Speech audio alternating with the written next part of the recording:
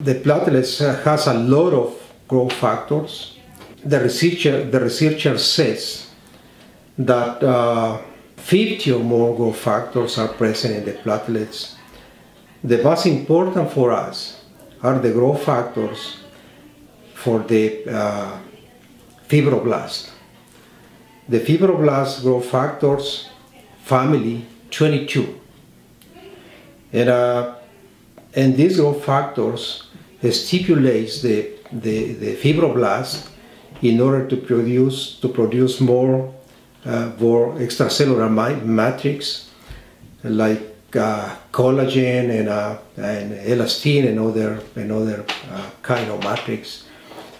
But the most important is that it produces inside the cells uh, a stimulus for regenerate, regenerate, regenerate the cells and also to producing healings of the wounds. wounds.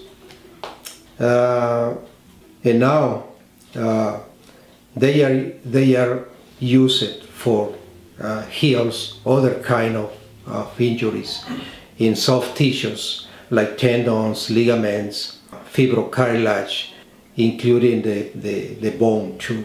We have experience in using it, in using the, the growth, growth factors uh, for uh, regenerating cartilage and also for generating tendons and ligaments and also muscles.